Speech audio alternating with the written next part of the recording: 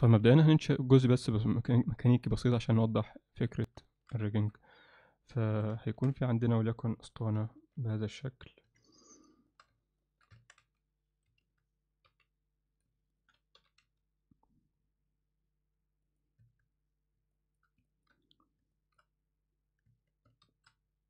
Shift S cursor selected. هنضيف هنا وليكن plate. و extrude وليكن هذه القيمة. shift اس course selected وهنضيف هنا آه خلينا نقول circle.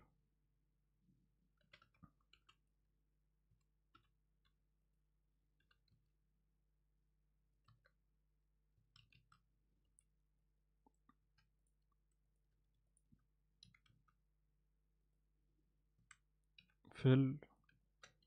و extrude هذه القيمة.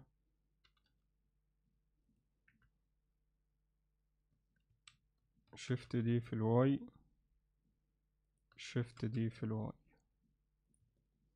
ده كده أول جزء. shift D في ال Z control M Z G في ال Y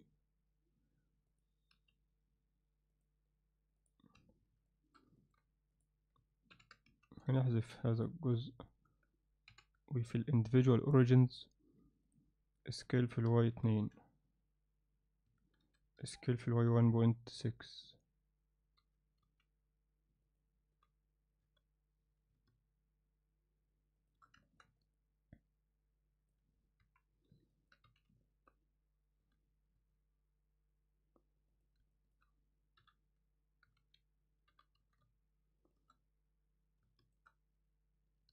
وهنقول إن في هنا أسطوانة وليكن circle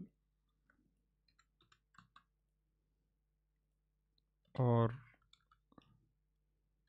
X 90 وسكيل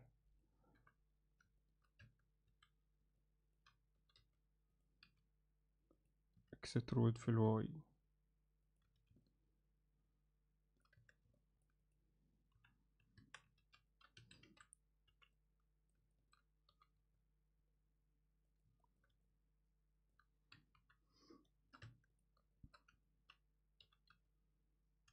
طيب ده كده الجزء اللي عايزين نعمل له rigging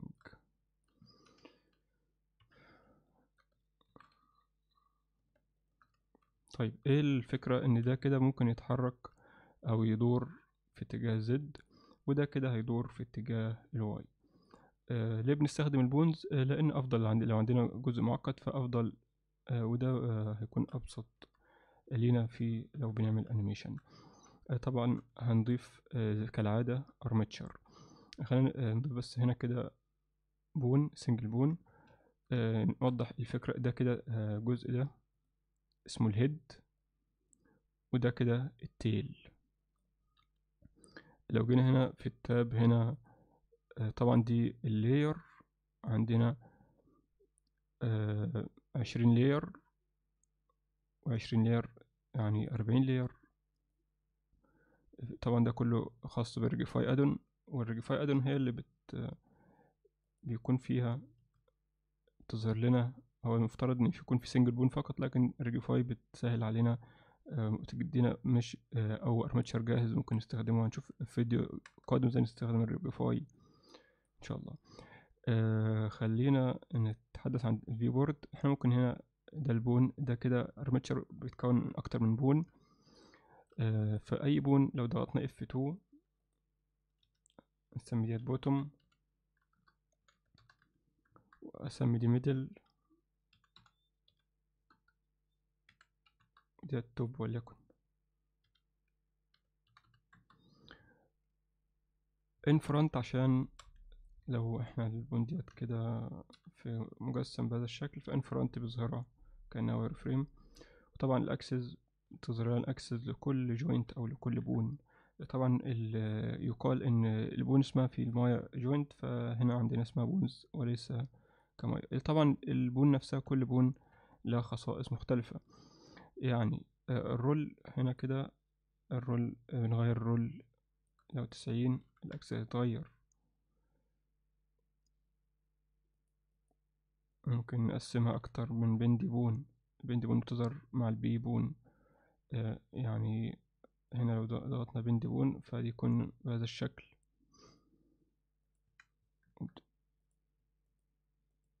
Deform. يعني في في عند أحيانا بيكون عندنا control bones فبنلغي لها ال deform لأنها ما بتأثرش على ال body نفسه ولكن هي مجرد helpers آه طيب. دي كده الخصائص الخاصة بال bone. ممتاز جدا. هنيجي بقى هنا كده shift C هنضيف bone armature single bone وإحنا عايزين ال bone دي تنطلق حتى يعني shift S cursor selected ونيجي في ال bone selection to cursor. ممتاز جدا. بعد ذلك extrude في ال Z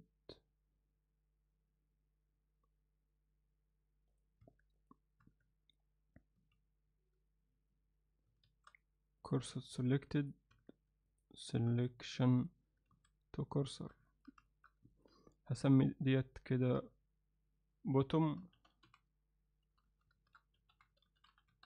واسمي ديت top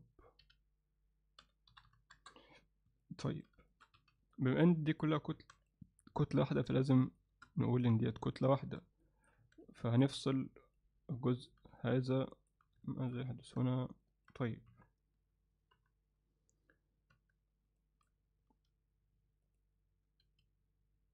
طبعا ال bone ديت متحركة شوية فهنظبطها لكن خلينا الأول نختار دوت كده control ال separate by selection ودوت هيكون joined control J ومحتاجين إن ده وهذا control J هذا أيضا control J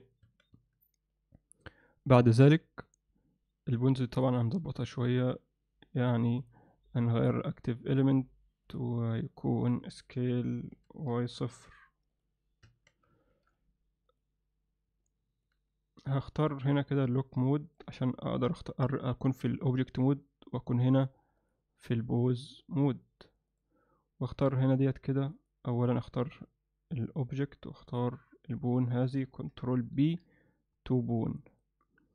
هرجع أختار هنا واختار ال bone. أتأكد إن أنا اختار ال bone. هذه control P bone. هنا لو اخترت ال bone ديت وال rotate في ال Y فأنا كده بتحرك في ال Y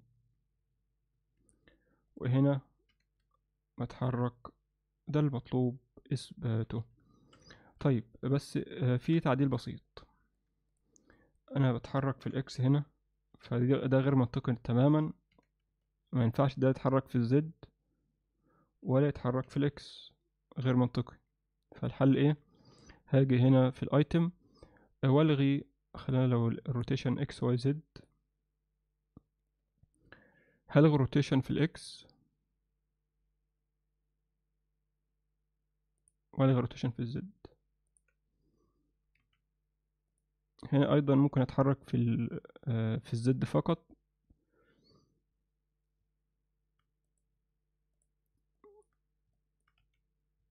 ممكن أتحرك دوران يكون حوالين ال Z. ما ينفعش في ال X وال Y. اذا R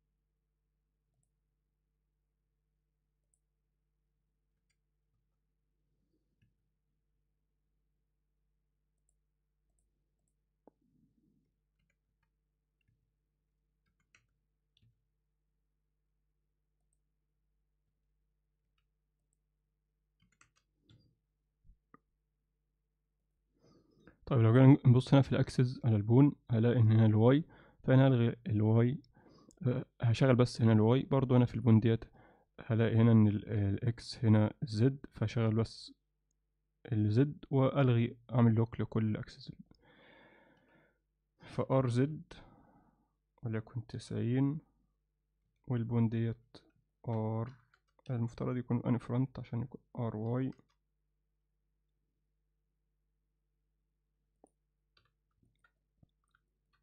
ار واي هكذا